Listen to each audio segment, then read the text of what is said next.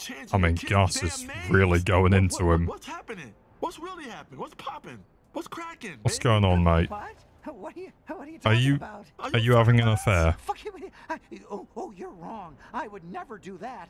Look how vulnerable I am right now. If I, I was lying, would I make myself so vulnerable? Shoot his ass. Trust Wait, hold on a second. Hello, I'm the vulnerable liar. He's lying. I'm the vulnerable lying to our liar, and I love Just pie, pie, pie in my face, pie in my face. I'm just gonna do what Gus says, okay? I guess. Bye, mate. What the? Times? Damn you, you idiots. How did you... Fuck.